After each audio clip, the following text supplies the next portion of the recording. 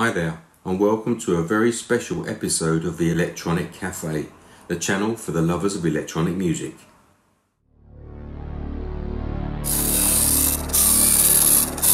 Extra, extra! Read all about it! Magazine! Extra, extra! Magazine! Universe information.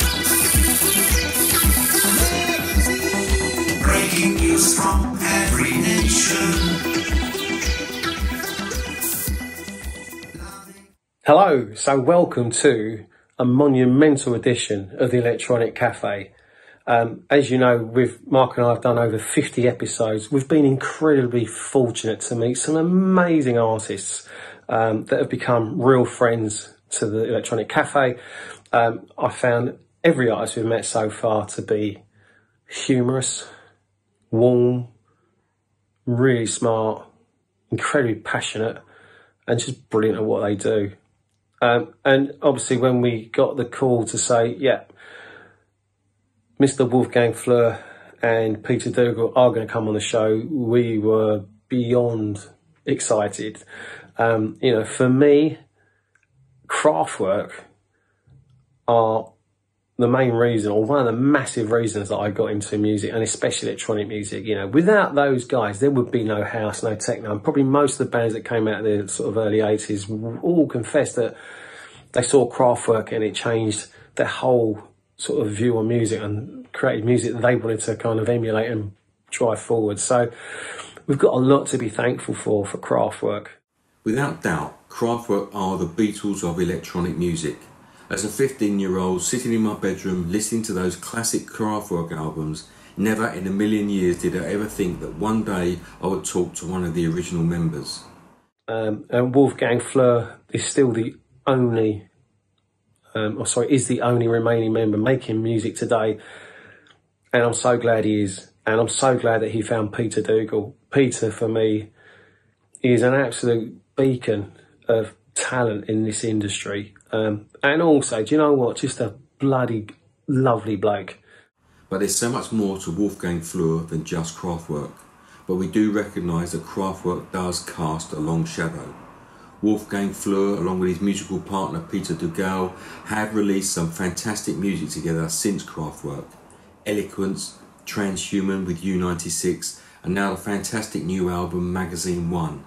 Um, so Mark and I had an hour in the company, say, one of the founding fathers of Kraftwerk, and uh, and also a, a musical partner and a genius uh, in Peter that combined have made one hell of an album. Wolfgang is warm, funny, clever, and an engaging gentleman, and me and Andy were honoured to have the opportunity to spend an hour speaking to him and Peter. But still, in the back of our minds, we still knew that we were talking to a man that had actually been involved in the making of Autobahn, Radioactivity, Trans Europe Express, The Man Machine, and Computer World. A true legend.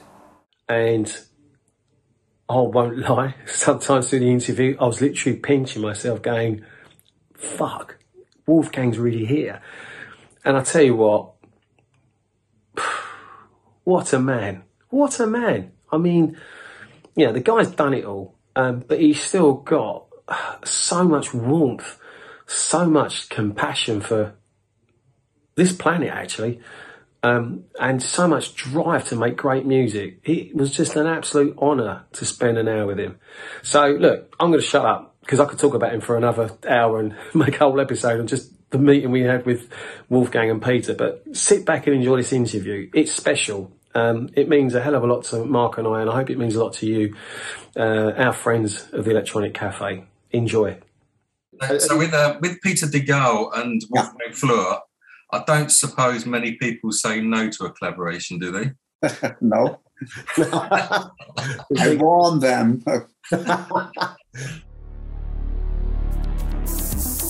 Projected screens on paper screen.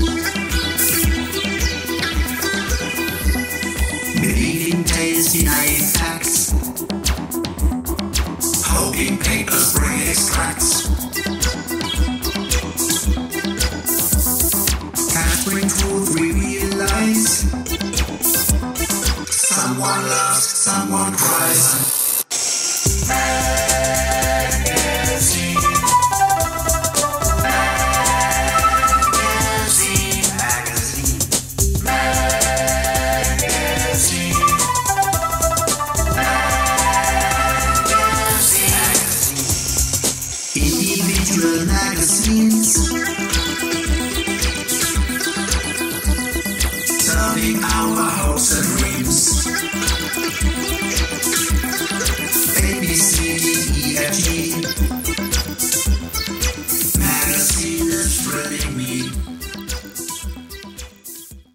Hey everyone, uh, this is a monumental moment for the Electronic Cafe.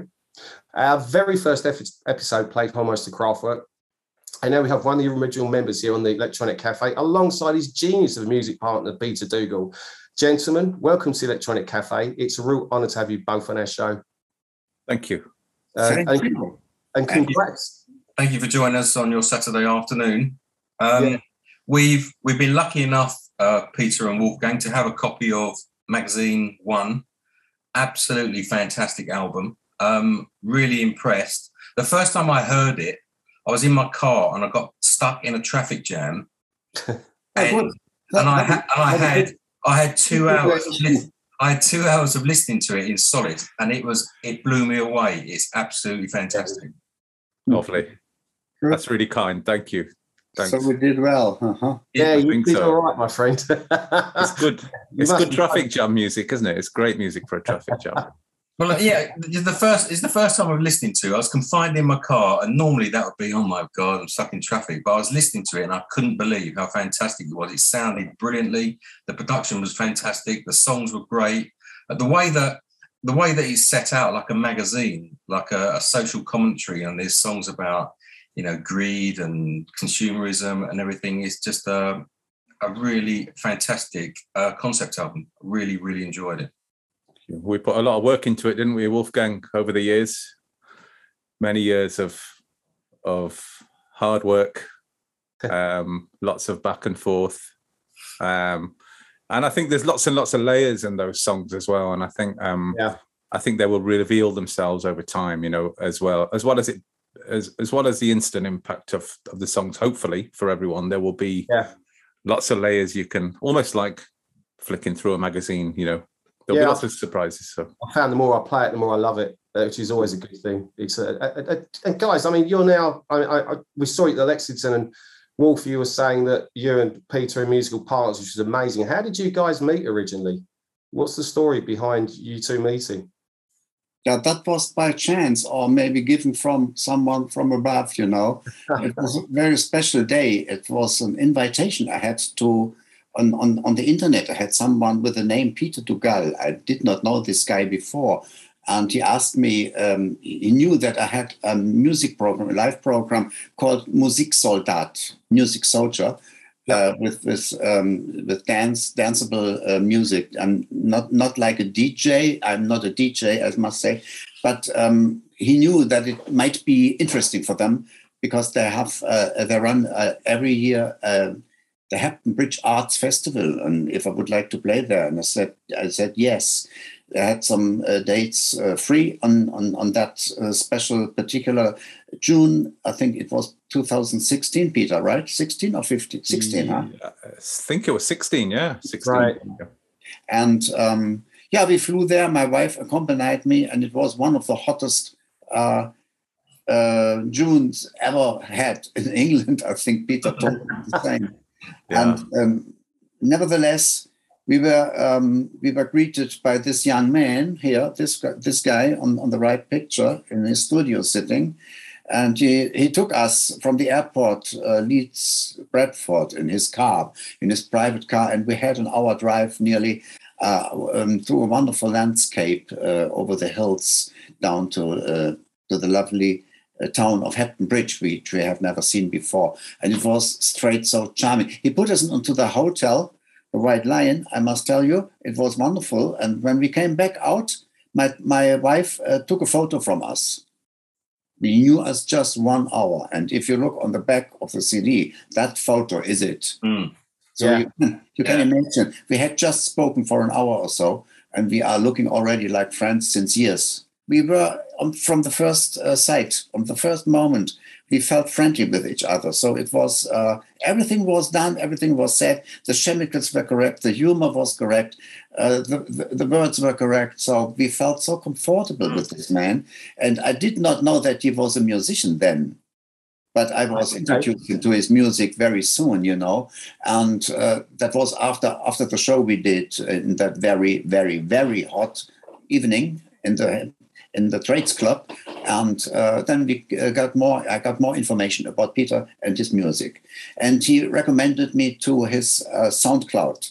And i listened to to many tracks of him. And i got more and more interested because of the soundscapes not pop music already with vocals in, but soundscapes which really touched me. Some of them were so strong in, in, in their music that I asked him if he would collaborate in something, and he agreed immediately. And uh, there was already a track uh, with the name Birmingham.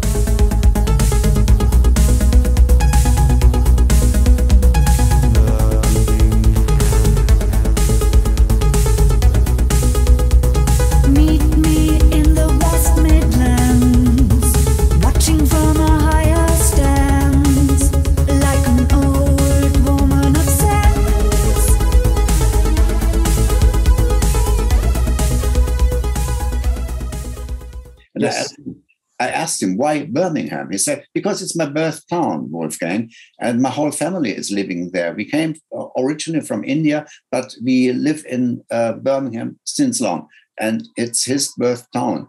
And I said, okay, then let's do a song on that because I loved it. And let's do some lyrics. I write some lyrics and let's see who can sing them.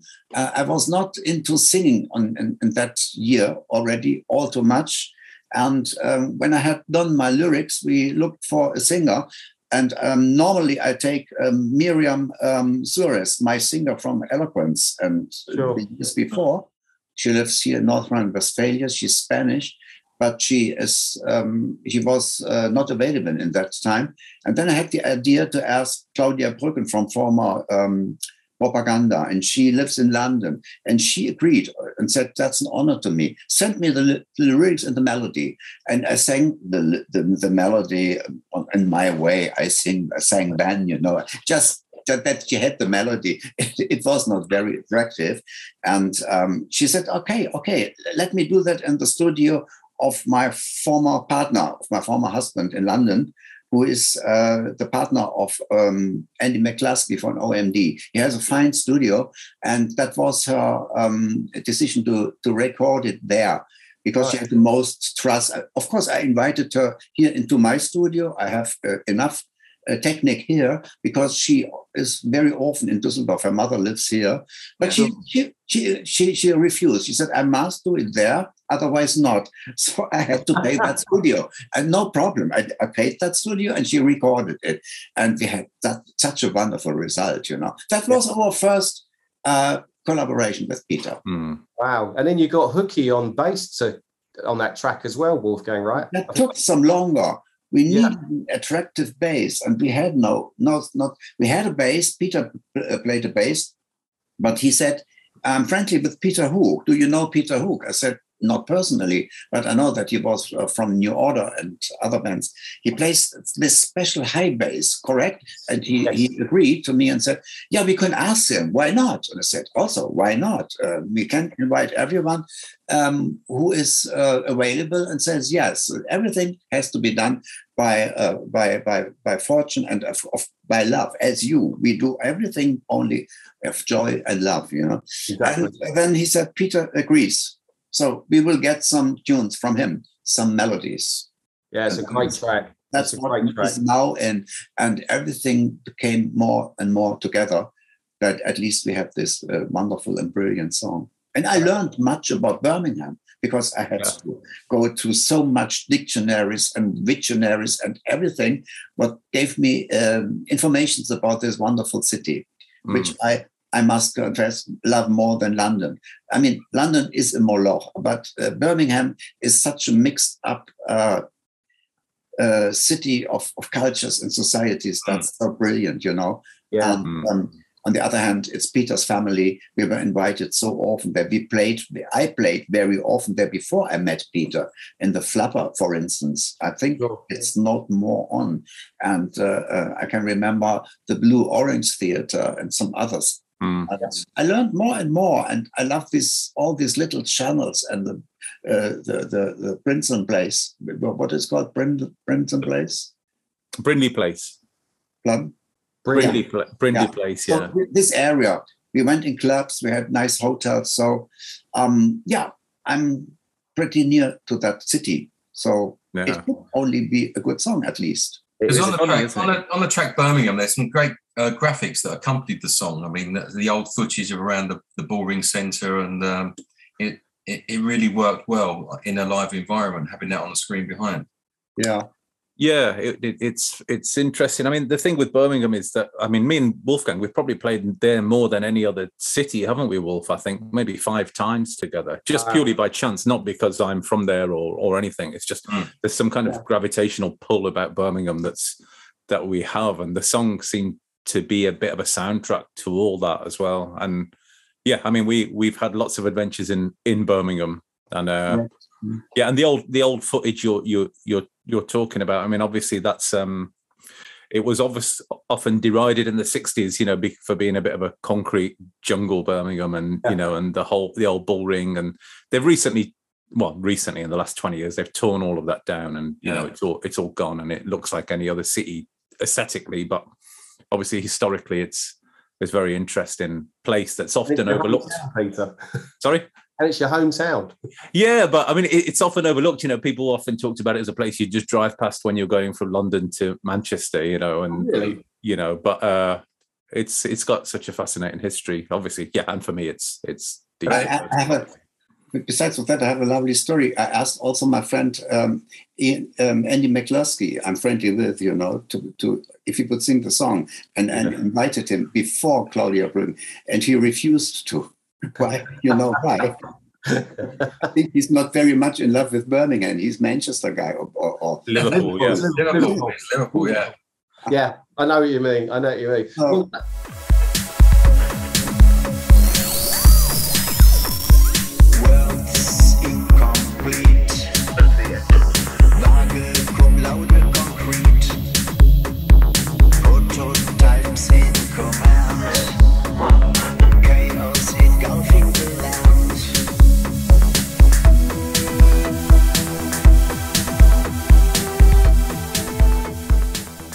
your album, I mean, there's so much great. What I love about it, there's real, there's there's lots of character in it. So you know, there's the fun song like Billionaire.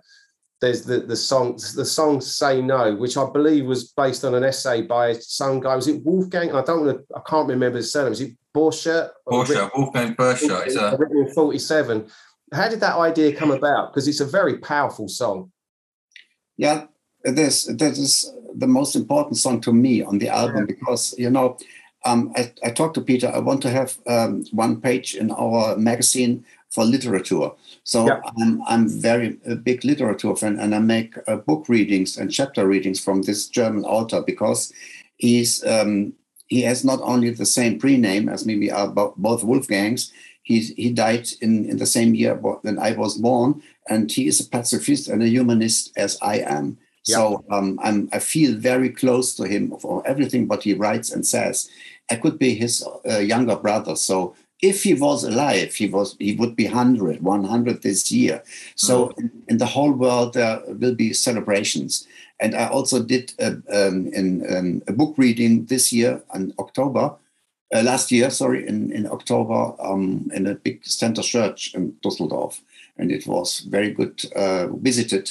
And um, yeah, the reason behind that is I'm a pacifist since my age of 16. I refused from military services and made a civil service, which was in the 60s not so easy uh, to get uh, that done in Germany. But Sure. we had that law, we had that possibility, and I had a big law uh, uh, case uh, to to uh, to agree with, and I won that. And at least uh, I had to go to that service six months longer than the military service. So that that was the torture, you know.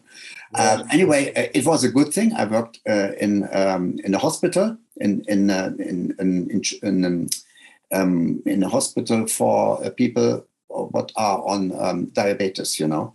Yeah. And uh, I met met blood uh, ex- experiences in, in the in the laboratory from morning to the evening. It was a hard work, I tell you. I bet. It was a, it was a good work to prevent people for anything, for illness, and so and not learn uh, to work with a gun for anything to kill people at least. So um, that was written in my in in, in my uh, program of my age. Never touch any gun, Wolfgang. And um, I wanted to have uh, some of the lyrics of Wolfgang Borchert. And uh, there is only one thing to do say no. Was the best of all of them, which I read sometimes. It's a very, very long tale, and I had to choose only some of the statements which are in, which touch me most of them, and which I found the most important to Yes. give to younger people as a statement, as a recommendation for their lives. The good thing is that Peter has a friend. Uh, this is also a journalist like you, a colleague of you, but also a musician. And he did an interview when we played London once, I think three years ago.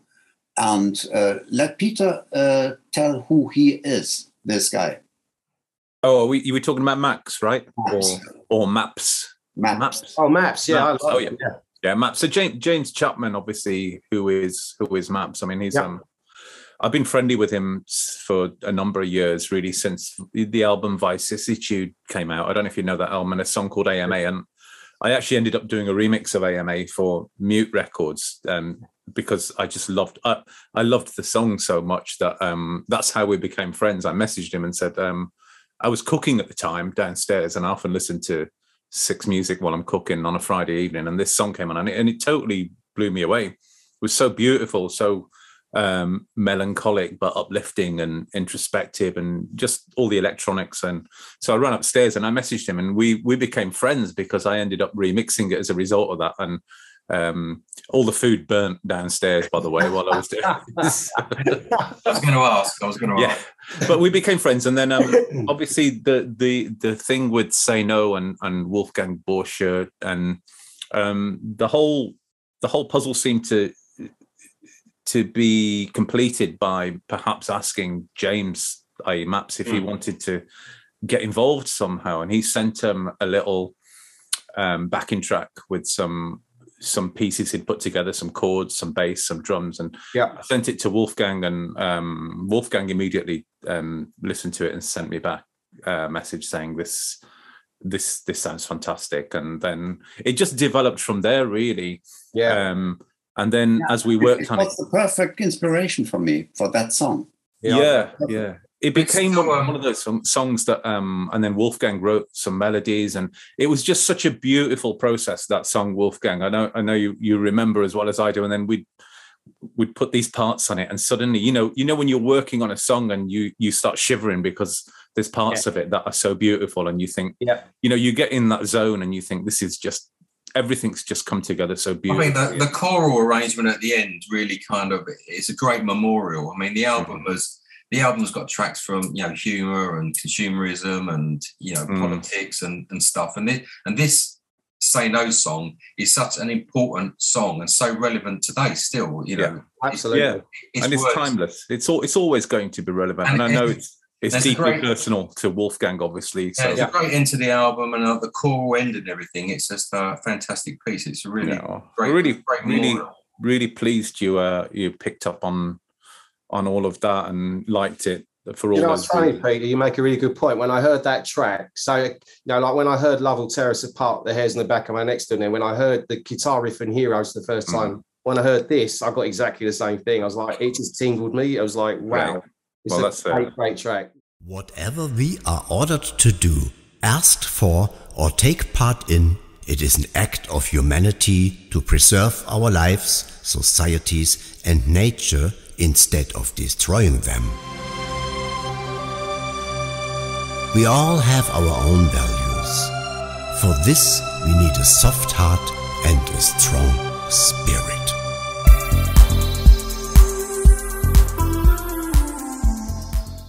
Peter, just on, on you quickly. So, and I saw your set before uh, Wolfgang came on. Uh, love the music you've done. I, I, actually went back home and bought your whole back catalogue on Bandcamp. Oh, I'm having that because I really loved it.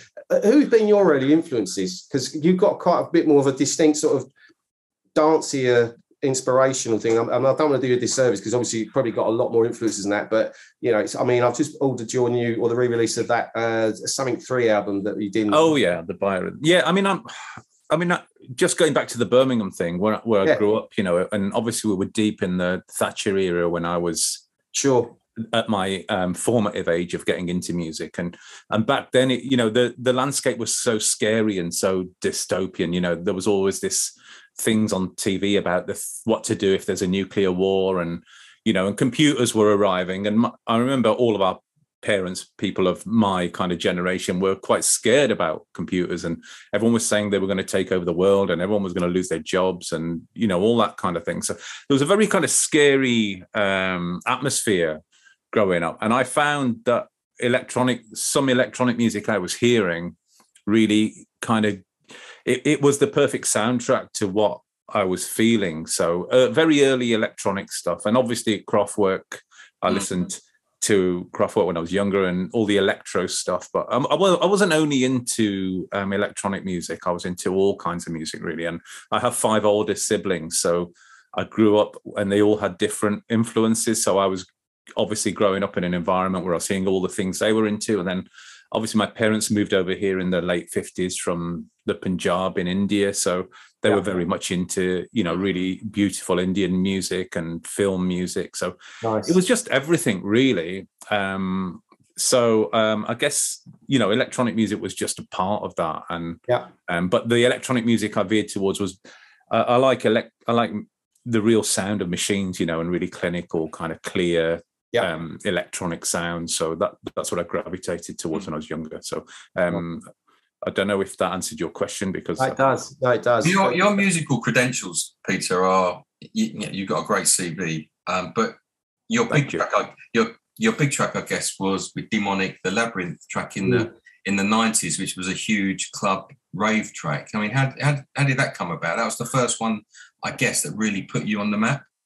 Yeah, I mean, again, that was um that was a real passion of mine, and because of the, I mean, Wolfgang earlier was talking about this diversity in Birmingham, and I grew up in a place called Handsworth, which was a kind of quite a rough inner city area, you know, where there were riots when we were younger, and it was very scary place at times to grow up in, but it was also really rich culturally, and there was so much to learn. You know, I used to go to Handsworth Park every day and play football, and but you'd meet you know people from all over the world. There was a big, there was a really big uh, black community, Afro Caribbean community, so reggae was very prominent, um, and the the whole sound of uh, bleep and basses, which is what I believe they call it now, which is labyrinth, was was of that of that genre um, was very informed by the electronic side, but also the heavy bass that you were hearing around. Mm. So, sure. um, yeah, and again, I was I was just really I loved machines, I loved music, so I was just writing this music, and my plan was just to write something with the loudest bleep I could possibly create, and it took me two days to create that on a Roland D10 for all the nerds out there, and. Uh, and then uh, you know you'd press it and the speakers would just go and, uh, and I thought this is this is it so then you know there was no, there was no internet then so I wasn't aware of it being quite a big track it's only recently I realized that it was quite a big track yeah, you know, I think you got voted one of the, the biggest rave tracks of, of the 90s by a few publications, which is, yeah, considering the music that was around that time, it's phenomenal. Did it? Yeah, I wish, I'd, I wish from... I'd known. I wish I'd known that back then.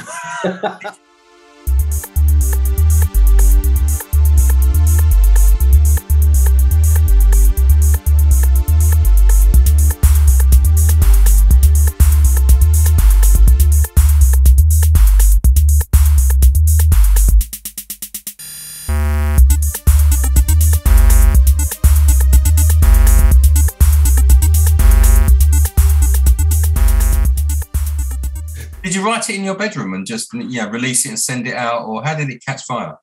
Yeah, so it's um it's we had an Atari ST um, because I just liked computers and I had an Atari ST. And obviously, the Atari ST had MIDI ports on it. And my brothers were into music as well. So they ended up buying um, an Akai S900 sampler, which was one of the first affordable samplers, um, and a Roland D10. So we just had those two bits of equipment.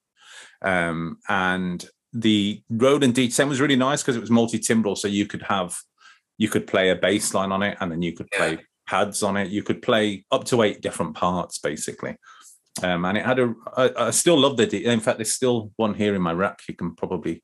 I've got the rack version for posterity because I love it so much. And uh, and yeah, so basically with those two devices, you could put all your drums on the S900 and all your um, synth sounds on the D10 and trigger it all from the Atari ST. And you know, for the first time, you could have have an affordable pro- professional setup. So that's how it was done. Yeah.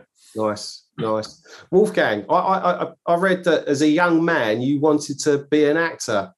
So is it so? Do you feel like as a musician you sort of do you need to be an actor to play a certain role on stage, or is it you know what what changed the career from actor to musician?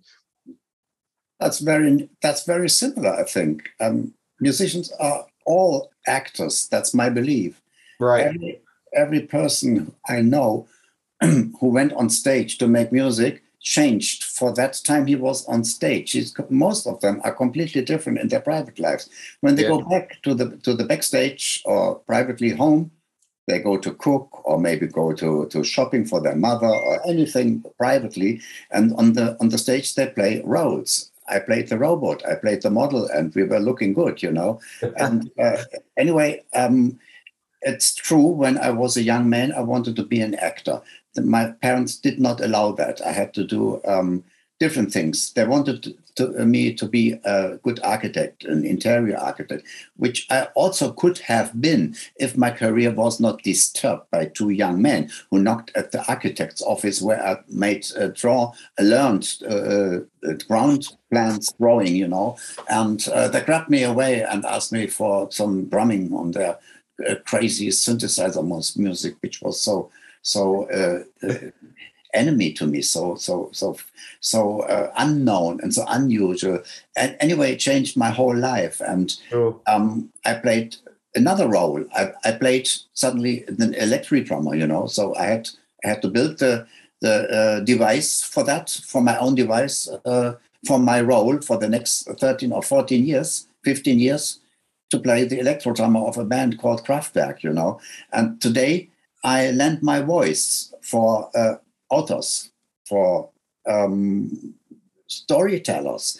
I became a storyteller. I became a narration and even a singer. I took some lessons uh, to sing better for this album, uh, the magazine one. And the last album, The Eloquence, I did not sing so much, but I learned more because my label uh, partner from Cherry Red, he, he loved my voice. He said, Wolfgang, please do me the favor and sing more on the next album. Please, please, please. And I said, okay, please, please me. And I, I gave him the chance. So Peter also said, why not? Um, I was a bit shy with the sing because I sang much when I was young in all my amateur bands before Kraftwerk. I was just the drummer, but I had always a microphone from the stand coming parallel inside uh, with the microphone on. And I always had to sing the second or third voices in the choruses from all your English pop music, which we imitated then. You know, we, we did not do anything else when we were young in the 60s. So we, we just copied the English top 10 um, uh, tracks uh, which we could play, uh, which we could afford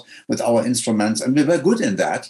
And uh, we played school parties and um, and, fairs and Düsseldorf, on the Düsseldorf Teenage Fair and uh, private parties and anywhere else. We had a lot of things to do. We were every weekend uh, with our tour bus, the Beathovens. That was my first band.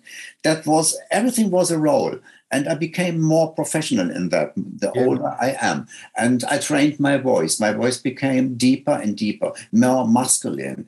And I had an operation in on, on my throat. I put something out, and there was more room. You know, I don't know how this organ is the name in English. You know, they put it completely out. You know, the, the butterfly organ there. Yeah. Yeah, it's out. So I take some pills for these uh, for these um, um, um, things. Is, it, is that the um, thyroid? Yeah. Okay. Thyroid gland? And from that on, I had I had a deeper voice, a better voice. So it was good for me with that operation, you know. Amazing. So um, and also I feel more uh, male today than a boy, which is pretty normal, of course. and and I, I had I had some lessons. I did many many readings. I must uh, inform you, and uh, this gave me more professionalism in in reading, in book readings, in story readings. I learned it really, and I do it well because when I make readings in front of for artists uh, from from audience, some of them come sometimes afterwards to me and shake hands and said how good that was, how uh, entertaining, informative, and and there some ladies had tears in their eyes when they Wow. came to me afterwards. Mm. So good was that, and that's something new for me to uh, get acknowledged with my own voice, even Yeah, speaking or singing, you know. But Yeah. all is a role which I give to me. I have to do this, and when I go into a track with Peter maybe or some other uh, who I did collaborations with, and I am inspired with this from a soundscape, maybe only a soundscape, which is some kind of a set of, of a film set of a, I have to write the script and I am the actor inside. Yeah, yeah. That's a role with, which I give to me. When I go into it, it must absolutely um, um, what professional. I must be really acknowledged that this is the person uh, whom I lend my voice, and Sure. you can hear it best, I think, and um, say no. I want to be Wolfgang Borchert himself. Yeah. I lend him my voice as long as I live. I Yeah. want to be that he is heard everywhere where I am. And in Billionaire, I want to be this special person and think you have an idea who that is. yeah. because in, in in the track Best Buy, there's a little there's a little scene in, in between which is like Yeah. you playing both the parts. You Um, like it? Yeah, it, it's re- Love it. it's really Love it. clever- it's really Both really is clever. Broken tea, caffeine free, Milky Way, you taste and stay. You taste and stay. You taste and stay.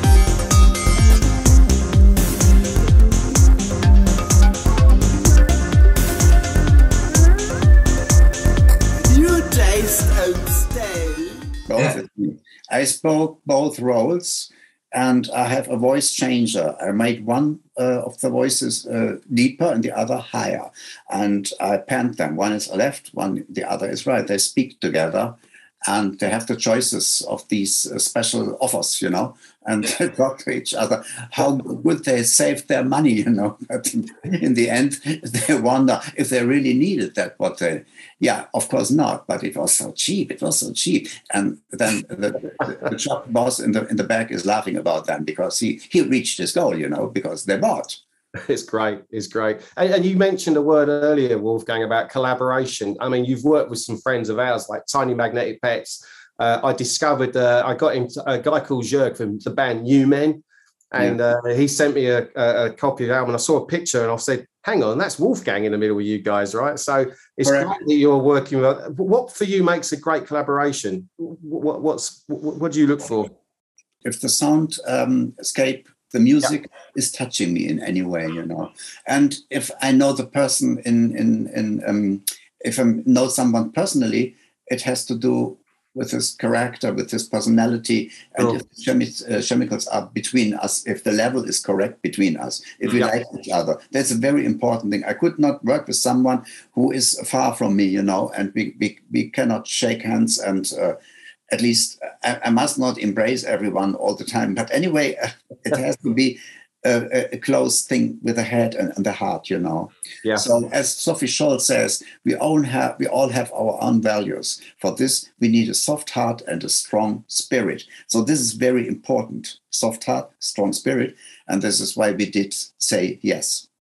Brilliant. Uh, So with uh, with Peter Duggal and Wolfgang Flur, I don't suppose many people say no to a collaboration, do they? no, I warn them. and then you I mean, I don't know. I believe, and again, I, I, you guys can tell our audience, but there's there's more magazines potentially down the pipeline, like a magazine too. Is that is that correct? Is there more to like, Yeah. another magazine or more editions to come? Yeah, the thing is that we did we did too much songs for one album, and we were suddenly on on the list of uh, twenty four or so. Wow. Yeah, because we had five years work together. Yeah, because sure. of Corona, the last three years were good for us, at least that we had not no chance to travel, no chance for appearances on stages. So we were isolated in our homes, and uh, there was only one thing to do: make music. You know. And um, the good thing is that we knew each other from the right moment on, and we both had time. So um, why not making music and more tracks and more tracks? I had already done some uh, collaborations ready done with the U uh, 96 guys from Hamburg, Yeah. Hayo Lewerentz, um, for their transhuman thing. And uh, I did some more with them, which are not on their record, but on my record. So they are already done for this Magazine One album. And there come three others on the Magazine Two album. And Magazine Two, I can really inform you, it's nearly done. It's Wow. nearly 75% ready. So we have only to record two further songs, and we have a fine other next album with nine attractive tracks together. Amazing. And and I tell you more, even more. There will be also a magazine three album. You know what is on that? Interesting and attractive remixes, dance mixes, and everything. What we do with um, uh, remix competitions, we do with the friends and musicians we know.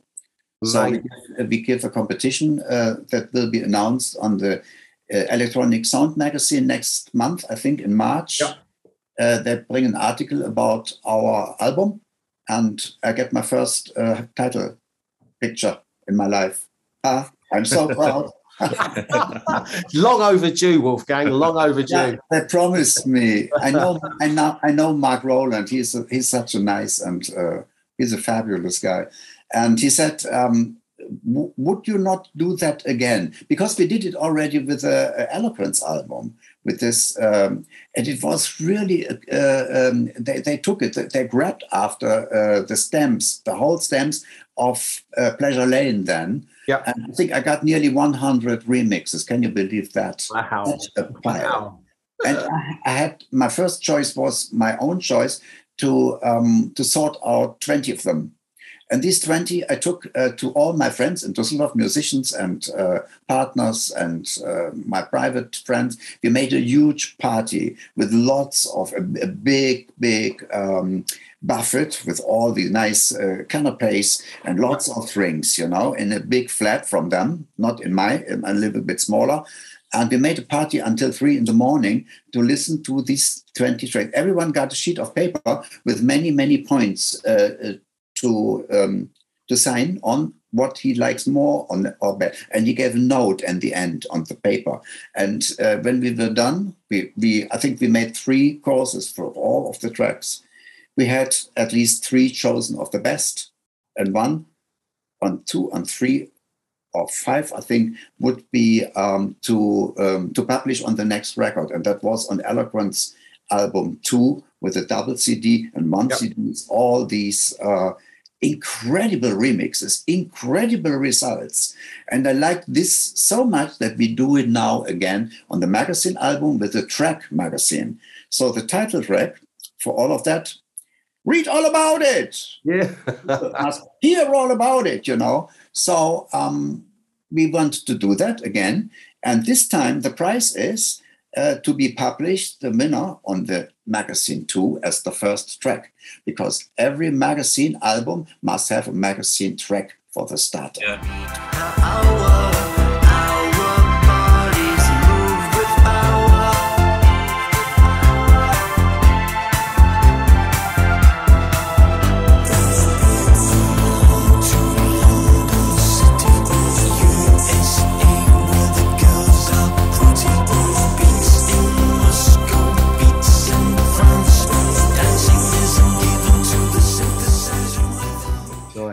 That's the plan. Are you allowed to say when you expect magazine two to be out, or when do you think it'll be out, or is it still in the pipeline?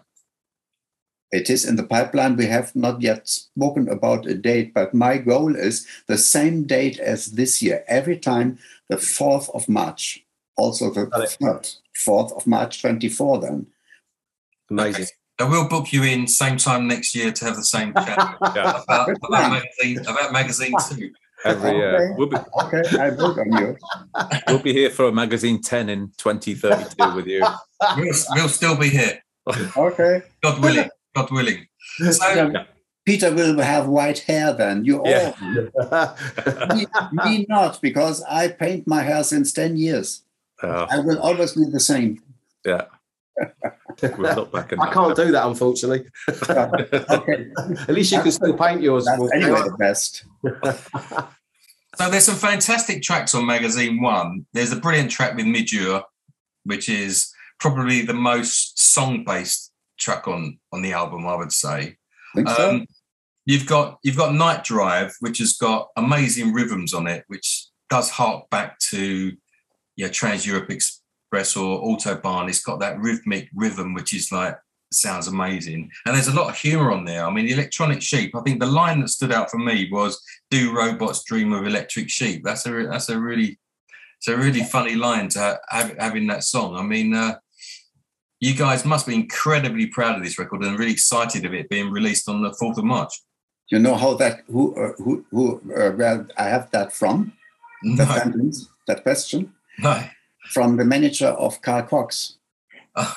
So that is the whole thing. How it started. It came by the manager of Carl Cox. That's really? Alan Schulman. Alan Schulman uh, uh, got in touch with me to invite me for a show in 2020 in June um, at the Printworks in London, together with William Orbit and Rusty Egan. And uh, contracts were already done, and then came this virus, and we had to postpone everything. So it was cancelled, but we kept our contact.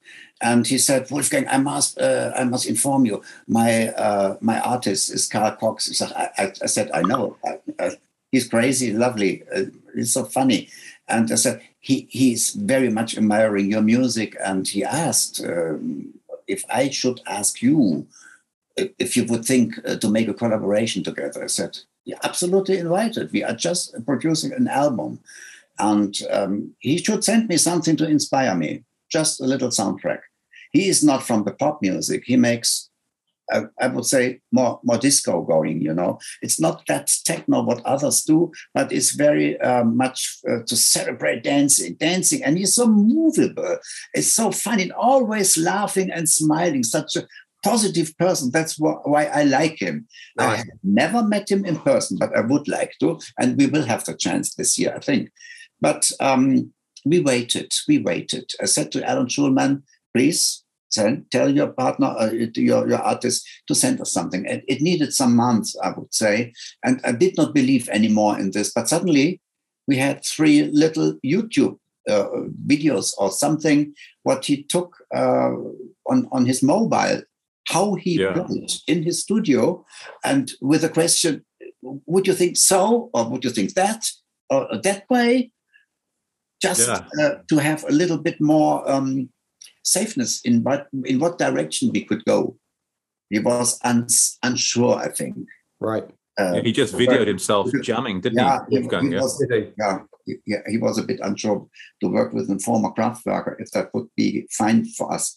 And it was, it was, I really must tell you, and especially the second from the three, we have uh, thought that we have decided together, Peter and I sent everything to Peter as well, because he's my partner. What do you think? What would fit best? And we chosen for that track, and we, we wanted to have uh, the stem, the stereo stem from that oh that wasn't that was a crazy thing that was difficult to get um, you know it was only a mono uh, music underlined and i separated it from from the video and said just that mono uh, file to peter and i said if we don't get it and he did not answer anymore then and i asked uh, alan schulman uh, several times can we please have the stems tone by tone or maybe um, uh, um, a, ster- a stereo for um, uh, for Peter that he can rebuild it and said, Peter, okay, no problem. I can make uh, a, a, a special track from that. Um, Peter, what, what did you do? Can you you can uh, explain that better as more the technical? Yeah, so I think what probably happened is because Carl was just, you know, jamming live on his various boxes, it might have been very very difficult for him to reconstruct that stem exactly. You know, so. Right. Um, yeah, so Wolf sent me the the mono track from the video. So it's basically just him holding a camera and filming himself, you know. Yeah. And uh, I mean, the, the kind of processing you can do now with with noise restoration uh, uh, restoration software um, is is phenomenal. So um, I was able to take that and then basically take a fingerprint of the background noise and then apply it to the track and and remove the background and the air, almost the air, you know. And then you could kind of bring the the audio more into focus and bring it right to the front. So in the end, it was it was it was pretty good, Wolf. Right. So um, we got it sounding really really tight and focused. So um, yeah, it was. I don't, I don't think that would have been possible even five years ago, but now it's it's a lot. It, you know, Yeah. especially especially with artificial intelligence and all these techniques, you can really really push the envelope. We- we had a pseudo uh, pseudo stereo track then, which I, I was flabbergasted how, how brilliant that suddenly that um, that sounded, and I saw what Peter can do, you know, and uh, I got more and more uh, pride of him that he can do such things, and it's very uh, valuable for me working with him. Yeah. I'm easy going, cause brainless. People might be scared of me,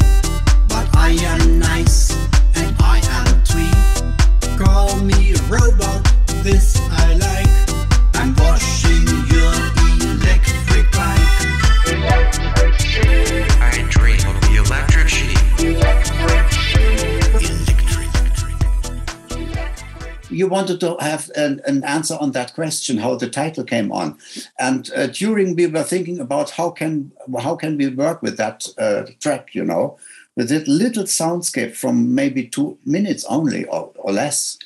Um, the manager uh, had last question just on on on on, the sub uh, sentence of one email. Just one question wolfgang. Do robot uh, do do uh, robots stream of electric sheep it was the question. He wanted to make a joke, you know. Yeah, yeah, yeah. So uh, It's a great Oh. line. It is that great hit line. me. That hit me really, and I said, "Thank you, sir. That's the title track, Yeah. Electric Sheep." Yeah, it kind of came from him, you know. It was just an inspiration, and I told Peter, uh, uh, Peter, we write now a song about electric sheep. Ah, he said. What do you think? yeah, wait, wait for the lyrics. I asked a little robot what he can do for us. Amazing. Amazing. And I can't wait for people to hear this album because No. like the diversity and the subject matters of each of the songs are are well fantastic and people will be absolutely blown away by it. Are you planning any more any more shows like you did at the Lexington a few Many. yeah, we have a lot. we many uh, originally we had to start on the 4th of uh, february our promotional uh, magazine one tour but uh, the first two concerts were cancelled because of uh, too much corona and too, less, too less ticket sales but we start now originally one month later on the 4th of uh, march when the album comes out it's the same day and let me see on my plan Bristol. Bristol, right. Yeah. Bristol's that. Okay. Just one word, just one word for Carl Cox. When you have that printed paper, that um, pictorial, the Yes. PDF, you you leave on that page uh, about uh, the sheep, electric sheep. Yeah. You see Carl Cox in his studio where he shows his hand to us. That was a scene, the last scene of. Oh of- right, okay. That's original in his studio where he just played that track for me. Original only for me. He did it play only for me, for no one else. I was proud of that. Yeah, awesome. Awesome. And Oh, yeah, you're doing London as well, Peter, do you know? Or I know you're We doing will, we will play in London. I'm sure we played often in London, not only the Lexington, the garage and, uh, uh, and under the bridge. Um, what- I played often in London and, and will be more often. And we will do, of course, um, restart that pro- uh, that that um, that project with the um, with the Printworks. You know, Yes. Big William hall. Orbit. we, we will we will do bigger ones. I'm sure in the future. Yeah, yeah, yeah. So it, it is 10 cities uh, which are on the plan and many, many, many others which uh, are postponed from tw- uh, 20, uh, from 1920 and 1921. So many shows. The, clo- the closest one to London that's in the plan at the moment is Guildford, but there's nothing Okay. in London planned just yet. But All right, buddy. Texas. Well, we'll we'll be there again. Thoroughly enjoyed that one. hundred percent. Yeah, it's a great show, and it was just great to see all that All- energy. That's all cl- uh, small clubs, but I also I love club touring. Mm. uh, even better than big uh, festivals. It's that's okay. Festivals are, are good because of the of, of the bigger fee, you know. And if I think economically is is it's okay, but the clubs are better for me and for Peter. I think we Mm. love the, the close uh, to be close to the audience, you know. And the sound's better as well. I think. I, I like Correct. when you. sound is Yeah. better. And you know, if, if in big festivals uh, there are hundreds of artists, there's always uh, a big traffic on the stage, and so many prob- problems can appear. You know. And it's always a good weekend, isn't it, Wolfgang? We normally do a Friday Oh, and a yeah. Saturday. So we'll meet on a Oh, Friday, we'll have yeah. dinner together, And- we'll go, Our We're famous traveling. after parties, yeah. yeah, party after the show. And then there's uh, some friends with us usually. And, and all the traveling is is great. We love it. Oh, awesome! No, we'll definitely come and see you guys again. Yeah, let's, let us Oh, know. I mean, uh, and Wolfgang, um, could you please indulge us for a little while because we are we've been musicians ourselves. We're massive Kraftwerk fans, I saw And- that picture um, behind and you. Yeah. and you, were- you was in Kraftwerk for that period when they produced all of those iconic albums um, that that were so ahead of the curve, so ahead of the game. How the hell did those albums get made without MIDI, without SMPTE, without computers? I mean, they're just perfect electronic albums.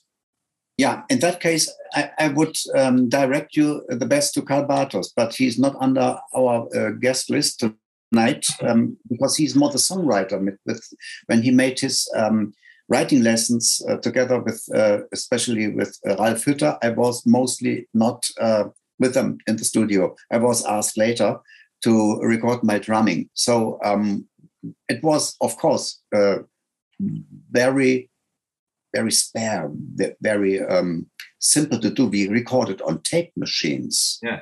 On tape machines. Can you? We had a big one, a 24 track, and and, uh, at least also um, a desk, a recording desk in our in our studio or rehearsal room, and everything had to be recorded live. You know, singing, drumming with my electronic trumpet board, and uh, until the sequencer came up, you know. The sequencer made me work less because at least uh, everything could be programmed and um, the live drummer was no more needed. And that was my chance uh, to quit with them and to uh, invent myself completely new. yeah. When I left them, I needed 10 years to think about my life. Music was 10 years not in my life.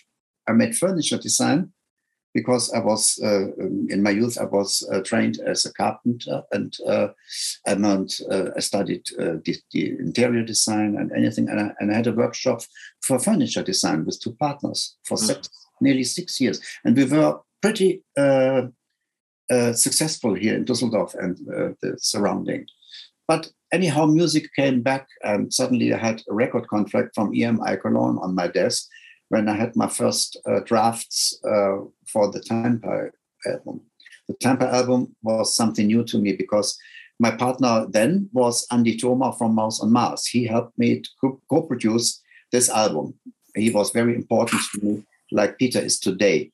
And uh, Andy, Andy um, brought me to the microphone as the storyteller. He invented it and he saw what I can do. And all my melodies, which are on Time Pie, is also something was completely new in me. And um, he said, it, it sounds some, sometimes as it is from, made from Kraftwerk.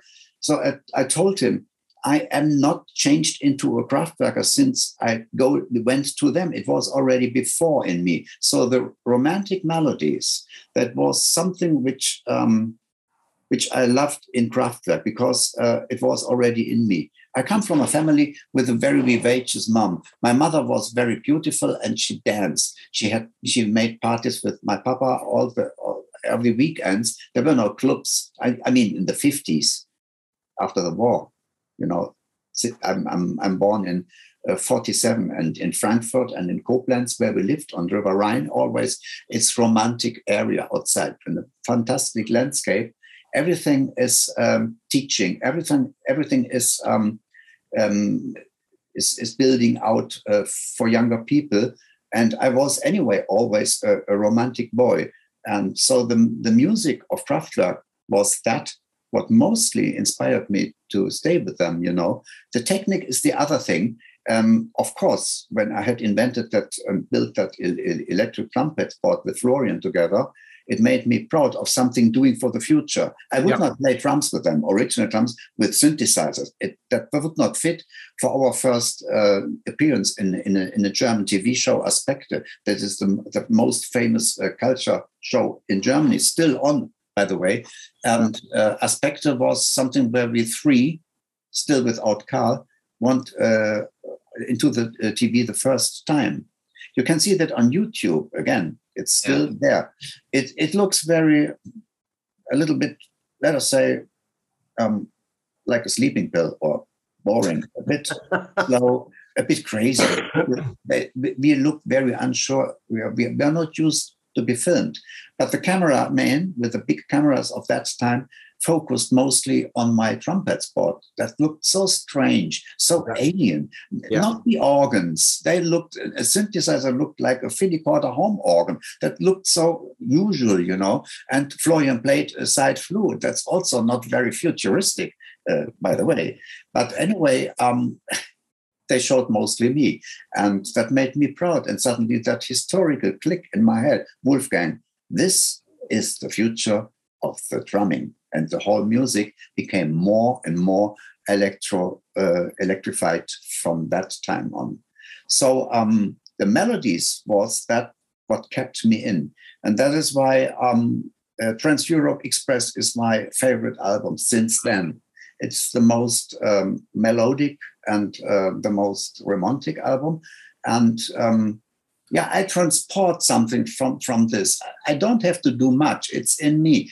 Uh, when I add uh, melodies to our current music, which I produce with Peter, it's there. I Yeah. don't have to think long which melody could fit in there when we need a, re- a repeat of the choruses or something, or in a bridge something to to, to, to, to, to lead over to some another part. Um, it's it's very very uh, fast. I have it in my ear, and I play it with my little synthesizer and find a fitting sound there. It is not a synthesizer with all these uh, programmed Kraftwerk sounds. I have to find them myself, which is my uh, taste of sound. You know, sometimes they could sound like something like that, but you know, every synthesizer today would say, "Oh, this is Kraftwerk," because we started with synthesizers. You know. Sure, Mm. sure. your drum sound was very uh, iconic in that you know you can hear it in hip hop, you can hear it in you know all different types of music. so. From, you know that ele- that electronic drum sound that you Yeah. invented has transpired into so many. That was a other Rhythm 10, a Farfisa Rhythm 10 sound with the transistor, transistorized uh, sounds with these little knobs on side, which which I just in the studio, not with, my thing, I did boing, boom, chuck, boing, boom, ch. So we rebuilt that to play it um, with metal sticks or metal plates, you know. At least it was these sounds, you know. And I played only the, the Mersey beat from Ringo Starr. That is what I could do best, you know. Very, very minimalistic. That was my chance with them. Amazing.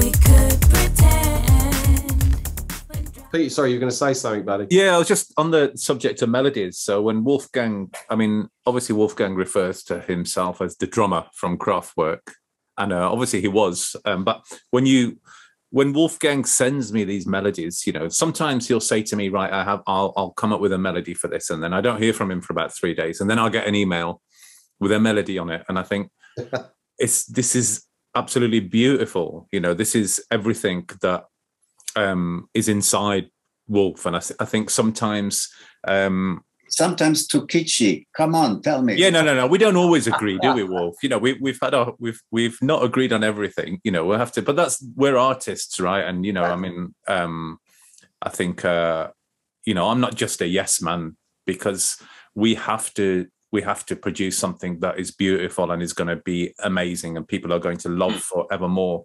I mean, that's just the the the rule that we have. So, uh, but yeah, no, sometimes you know we don't agree on things, but uh, for on say no, for example, or Birmingham, and then you know, I mean, I will I I will try melodies sometimes for ages, and then Wolfgang will send it, and I'll say that is it, you know, and it will just Yeah, come yeah. through, and it's there, and it's beautiful, and and it and it will go back to that moment where you know the kind of hairs on the back of your neck kind of stick up, and you just think Mm. we've got it, you know, we have it. So, um, but I think I just wanted to make that point about the melodies because Yeah. you know it really is they're all over the, the record or all these sometimes the melodies are only three or four notes right wolfgang because as we say it's not what you do play sometimes it's what you don't play Yeah.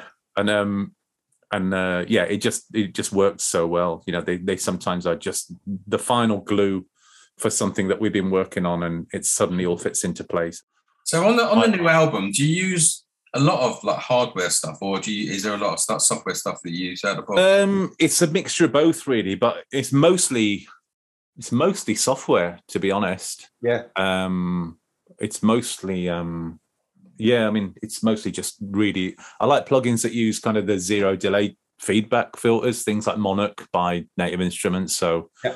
um, I think that's brilliant, and I think some of the Moog emulations, like there's one called the Legend, which is which is fantastic. I can't remember the name of the company. Um, Synapse Audio, I think it is. They make some really beautiful stuff. Um, and then I use a lot of uh, Acustica stuff for processing. I don't know if you know Acustica or audio, but they're very, very kind of. Um, I mean, it's amazing, but it's based on digital uh, dynamic convolution. So you can basically emulate old you can emulate the character of things by sampling it in a dynamic way. It's very complicated. You use a lot of horsepower. Uh, but so I've got an old Neve 88 desk that every channel's been um, acousticified on, and then you can apply all those emulations, and you can you can mix tracks like that. I mean, it's very convoluted, but it leads to a real, you know, a kind of, you know, just take a long time, but uh, it's worth it, you know. And then the final question, and then we wrap it up. But um, there's a beautiful story when you you met Florian, um, just before he Yeah. passed away. Mm. Um, it moved me. Would you share that story again, please? Yeah, in 2016, I had a celebration in uh, in a famous brewery house in East Street in Dusseldorf, where we have been with Kraftwerk when we were younger, always because it was uh, pretty uh, close to Kling Klang Studio and uh, uh, Oststraße. So uh, we went often there because they had wonderful eat and drinks, especially the Dusseldorf brown beer, old, old beer we liked, and. Um, yeah, I'm, I'm, I love to go there still today. And I had a celebration in 2016 in, in a summer day. It was some days before my birthday.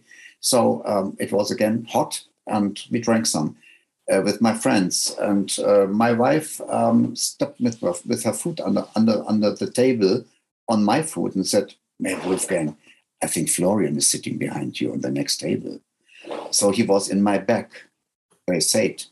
And uh, the other said, She's right. He's there with two ladies. And uh, the more I, th- I thought, we haven't seen for t- 30 years, I think. I thought, uh, how can we do that now? How can we f- fix now our issues we had some time before? We are old men now and maybe a bit more wise. In that moment, I had a hand on my shoulder and I did as I was reading. I looked up and said, Florian? And he said, Wolfgang. And I stood up, and it was so pretty suddenly in that moment. Um, it was really touching me, and he, I think him too. And uh, I embraced him suddenly. I took my old Florian in my arms, put my arms around him, and took him nearer and whispered in his ears, "Wolf, Thank you for your wonderful song against the pollution in the oceans. Your song saved the fish is really touching me. It's so good that you're still making music. And he said, Yeah, you too. I have I have read that and I heard your Eloquence album. And I said, I'm in the process at the moment uh, for making some something new. Would you mind? He said, We'll do that. We'll do that, Wolfgang. And then I said, ganz, uh, very close to his ear with my mouth, I said to him silently, Florian, thank you for this wonderful 15 years we had together. And he said, These were the best, Wolfgang. And that relieved everything what had done with our childish issues we had. It was of my book, you know. Sure. He didn't want me to write a book, but I did. It, it was my past. My book was my book and not theirs. Everyone could have done, like Karl has written a book. It comes out in England this year, by the way. Um, it's pretty. I have already written, uh, read it, you know. So he can he can um, report more about the um, recording process. But with Florian, it was wonderful that we had this forgiving date, you know, this wonderful moment of forgivings, and then everything was fine, you know. I did not know in that moment that it will not appear a work uh, together in collaboration because he was uh, already very ill. He did not tell me that. Hmm. And uh, the next year he died. So that was very a shock to me.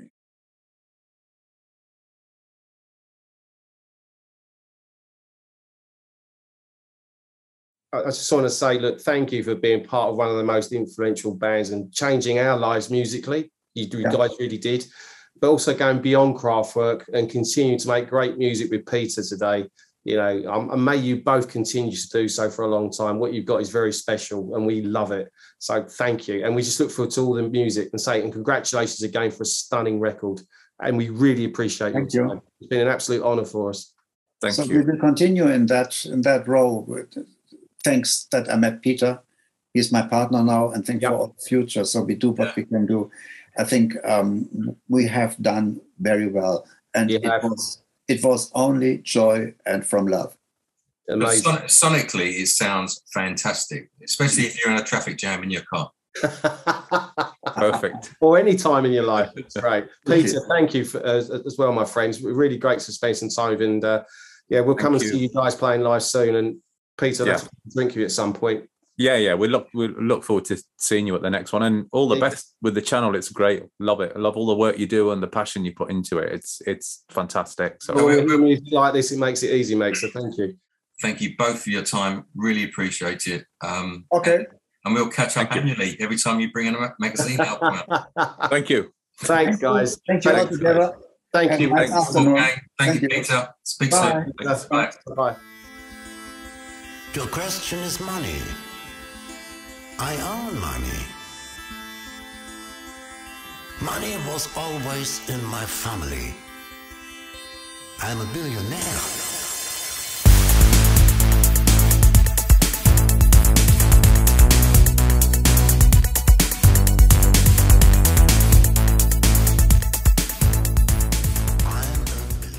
So that's it. I hope you enjoyed the amazing interview that Mark and I had with Wolfgang and Peter. We thoroughly did. Um, we've got another big name to announce soon. Hope very soon, and it's massive. So stay tuned. Keep watching Electronic Cafe. We've got more good stuff to come, more great ideas coming through, and we're trying to get more big artists to come on and for you to get to know them better. So thank you for watching. If you haven't subscribed to this channel, please do. You know, our aim is to make ears happy around the world, and that's what we're going to do. So, um, listen, take care, stay safe, and Mark and I will see you soon on the Electronic Cafe. Bye bye for now. Thanks for watching, and a special thanks to Wolfgang Flur, to Peter Duggal, and also to Matt at Cherry Red Records. Take care. We'll see you again soon. Bye bye.